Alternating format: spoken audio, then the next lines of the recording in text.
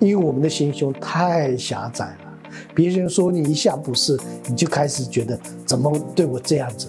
别人同事你在背后说你一件事情，你觉得我平常对同事很好，然后他怎么可以这样子？然后气呼呼的想着把他怎么样？他人之物不上我心。别人对你的不谅解，别人骂你，或别人对你的是什么指指点点，或是他人的错误，是他人的错，不是你的错。不要用他人的错来惩罚自己。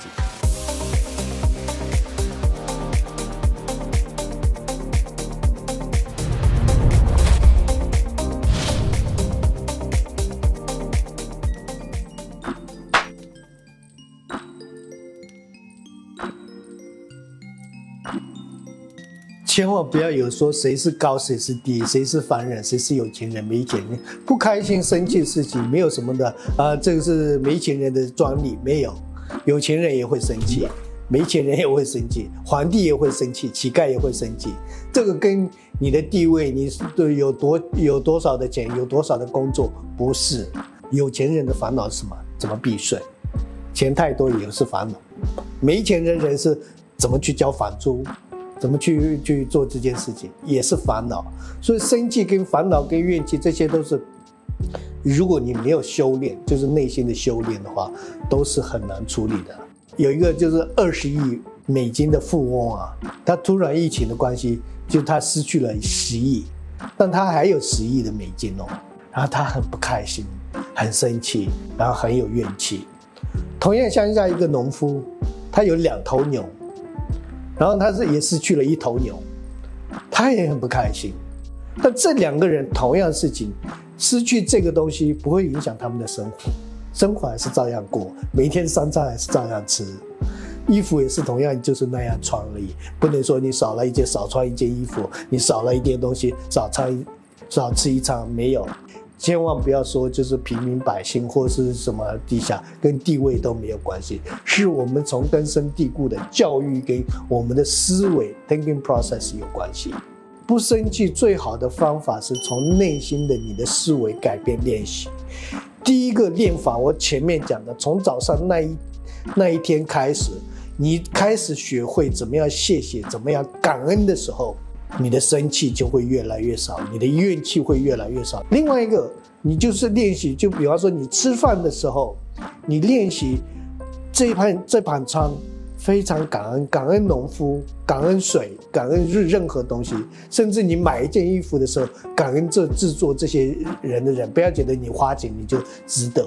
然后睡前的时候，就是你把整天把怨气全部都放下以外，感恩所有你拥有的东西。不是说一直在欲望或是痛苦上面，我没有什么东西。我们要换一个思维，就说你要谢谢，你要知足，是你拥有什么东西，不是你失去什么东西。如果你这样的时候，慢慢你的思维改变改变的时候，你就看到的是万事万物都会循环到一个善的循环。我们人生像二十四节气一样，一年三百六十五天，二十四小时。二十四小时的，所以比方说我们的健康养生的方法，二十四小时都不一样。晚上十一点到三点要睡觉，早上要养生、肝肾，所有的中医系统都在讲这个。你的运势也是一样，你的财富也是一样，一个循环。所以，我们人生每一个思维，你的思维改变，你的财运改变；你的思维改变，你的运气改变；你的思维改变，你的情绪改变。意思是说，你寻到善的循环。循环是一定要去抓住的。在印度有个习俗啊，他们常常算那个星座，算得很准。西藏也是会算，但就是唯一的人是不能算，修行人是不能算的，因为修行人他可以改运，所以算命的人不敢修行人算命。一般平民百姓可以算准，因为你你的运势大概知道，因为你没有改变你的思维。你的思维一直在 track 在按照啊以为是的，或者是教育，或者是父母教的，或者是呃 copy 同事同事这样的的，你 fix 住的时候算得出来，所以就说你不要算出来，你的命要在自己手上是你要思维改变。所以我在台湾也是很多星座啊，很多人碰到我是不敢给我算，哦，你的不能算不能算，我就说对啊，你不能算，你算不准我啊，对，是这个概念，就是你的思维。改变你的运，思维改变你的健康，思维才改变你的所有的东西。所以意思是说，我们的思维提升的方法就是从感恩开始。一旦感恩的时候，你的生气气就会越来越少。一旦感恩的时候，你的 open mind，意思说心胸打开了。心胸打开的时候，你可以接受好坏都可以容纳的时候，你就是高人。你的高人的时候，你所有的事情发生事情，健康也好，财富也好，人际关系也好，什么都会变化。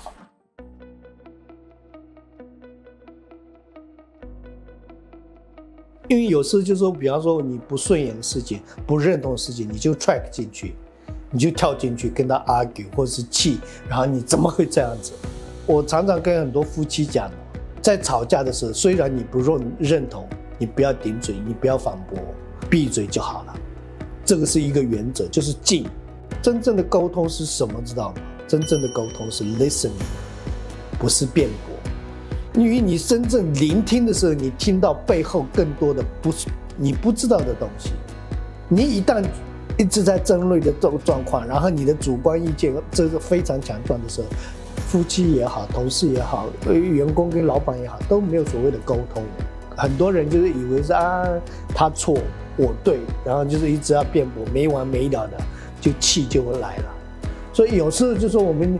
静下心来听一下别人的意意见的意思，说我刚刚所说的 open mind，因为我们的心胸太狭窄了。别人说你一下不是，你就开始觉得怎么对我这样子？别人同事你在背后说你一件事情，你觉得我平常对同事很好，然后他怎么可以这样子？我真的没办法去接受认同这件事情，然后气呼呼的想着把他怎么样？这本来世上对你不爽的，对你不顺眼的。很多啊，这是事实啊，只是你要不要保护好这里？连就是圣人、上司、有能力的人，有很很大企业家，都有很多对他的不谅解跟不是啊，批评人的一大堆啊。这个就是万事万物的概念。但就是别人批评我，常常讲一句话，就是要练起来一点：他人之物不上我心。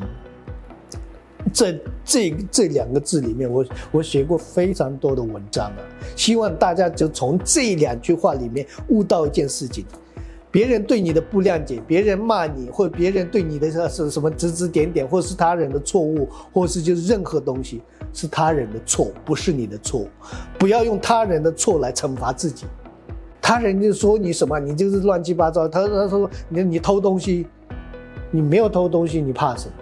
不要说他偷东西，他这样污蔑我，然后这情绪睡不着，怎么可以这样子污蔑我啊？情绪二度伤害，何必呢？也是一样，主角就是自己，永远就不要变成情绪的奴隶。比方说别人你白痴啊，怎么说我白痴，然后就跳起来，你就变成别人嘴巴的情绪的奴隶。因为别人说什么，我们谁都不知道，谁怀疑你，我们都没办法掌控，我们没办法去 fix 任何发生的事情。等一下，你回去，老板对你瞪一个眼，睛怎么做这件事，你也不能掌控啊，因为你不是他。但你可以掌控他骂他的，你心平气是你可以掌控啊。什么样刺激进来是别人决定，我没办法掌控。但我可以掌控怎样去 react，怎样去反应，我可以决定呢。我可以装傻，我可以没有听进去，让试试老板让这样子，哦，知道了，知道了，一种反应呢。气的要命，也是一种反应了。所以任何发生事情就 two choice，你要从善来接还是恶来接？恶来接受伤的自己，善来接是对自己有利。然后另外一个事情，生气、怨气是毒药，意思说我不能再吃毒了。只要这两件事情 DNA 一样生根在你的大脑里面，你就会时时提醒自己。在进步的时候，最大最大收获者是你的情绪越来越 smooth，怨气越来越少了，生气越来越少了。不管就今天发生什么事情，你就是心平气和。为什么不要嘞？人生活一活一天，活两天，活五十岁、六十岁，只要你心平静，就是值得，就是赚到，不是你拥有多少。你的情绪就是最大最大的受获者，你只要快乐一天就是赚到，你的忧伤一天，就算你这这个月赚到几万块也是赔的，因为你赔掉你所有健康的东西，你的福报会消耗掉。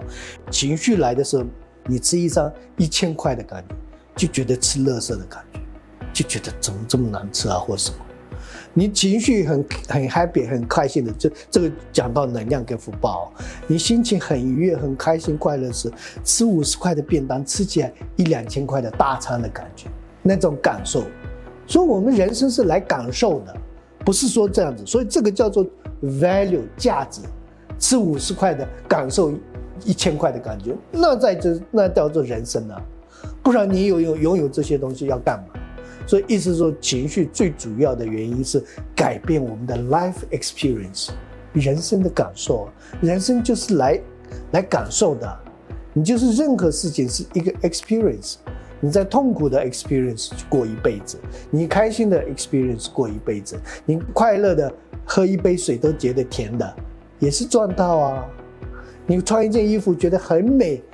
就算几百块的也赚到啊！你就穿一个香奈儿的，然后觉得每天不开心，几十万也没什么，是一样的概念。人的思维决定万事万物的所有的发生事情，所以情绪最主要还是你的 thinking process。thinking process 怎么处理？从感恩开始，你看美好的事情，改变自己的想法。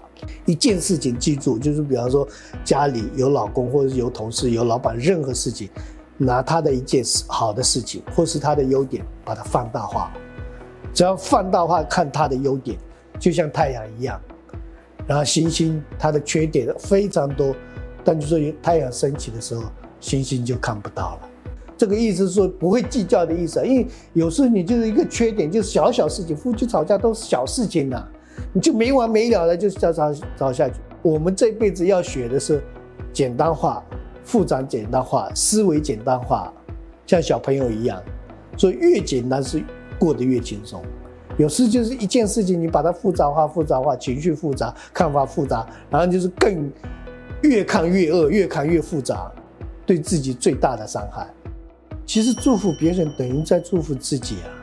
懂吗？你千万你不要有这个思维，他是对我不好，他是我的敌人，希望他死，希望他我运气不好，千万不要有这个思维，这个叫做恶的思维，不要 try 在恶的思维。就算他对你不好，如果你的思维改变，希望他也不要遭遇到同样我的事情，希望他也不要运气不好，希望他更好一点，不要那么恶劣，坏人的时候，希望他更好一点。我们的心胸不要那么狭窄，就是这个人好对我好，就是我很感恩；对于对我不好，我要报仇，我要干嘛？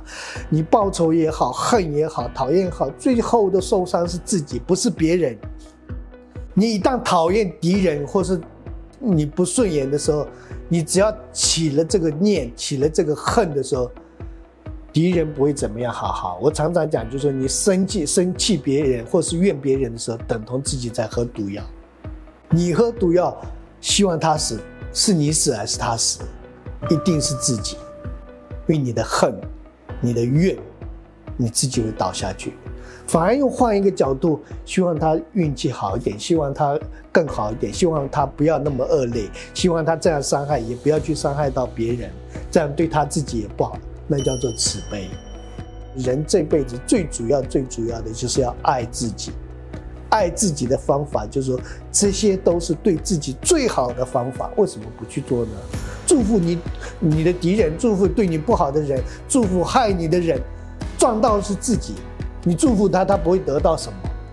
但是我们心里的成长，为什么不去做呢？不用花一毛钱。我们要好好爱自己的方法，就是保护好自己的心理，心理的成长，把心胸打开，好坏都能容得下，你就成长。如果你喜欢早安健康影片，请帮我们订阅、按赞，要记得打开小铃铛，才会收到我们的最新通知哦。